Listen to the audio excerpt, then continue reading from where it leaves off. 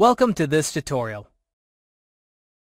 In this video, you will be shown the most important step to make your PC faster and better by cleaning the primary partition where Windows is installed.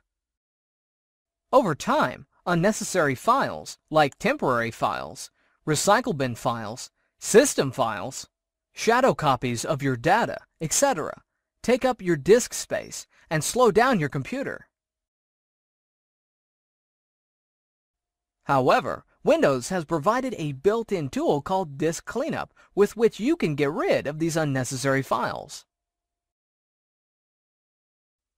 To use this tool, first go to the Start menu and type Disk Cleanup to find it in the list. Then, open it by clicking on it.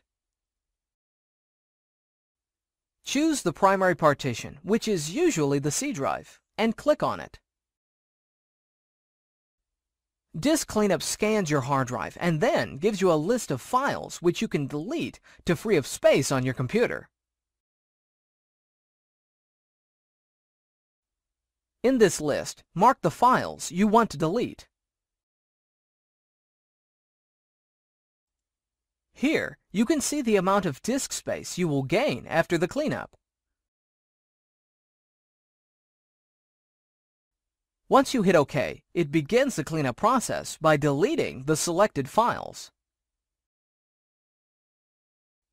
Upon completion, it will close.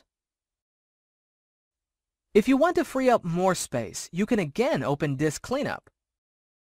At the bottom, choose Cleanup System Files to delete the unnecessary system files which did not get deleted in the previous run.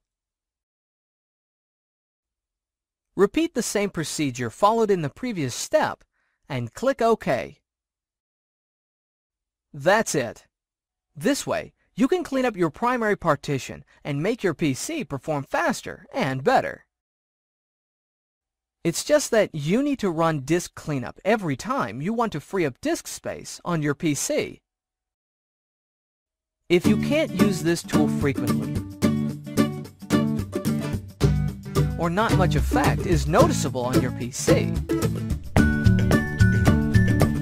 Go for Remo More PC Junk Cleaner.